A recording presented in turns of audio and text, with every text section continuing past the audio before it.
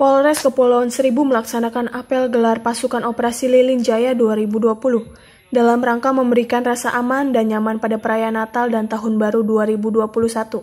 Kegiatan ini dipimpin oleh Kapolres Kepulauan Seribu AKBP Mori Edmond dan dihadiri juga oleh pejabat utama Polres Kepulauan Seribu, pemerintah daerah, koramil, dan elemen masyarakat lainnya. Kapolres Kepulauan Seribu AKBP Mori Edmond mengatakan operasi kali ini berbeda dari tahun-tahun sebelumnya lantaran adanya pandemi COVID-19.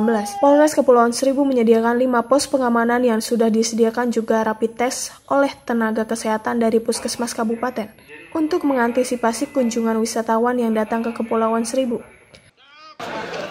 Uh, operasi Lilin 2020 dan uh, pengamanan tahun baru 2021 plus ada plusnya yaitu uh, diminta oleh beliau untuk menyiapkan uh, dalam setiap pos pam itu disediakan fasilitas layanan kesehatan.